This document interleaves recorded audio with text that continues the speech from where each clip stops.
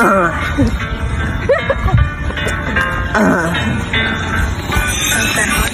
Yesterday I just stuck my cock in a gay cow. That cow moaned and then it didn't end on Anton. Juan gave birth to a little boy. I like little boys.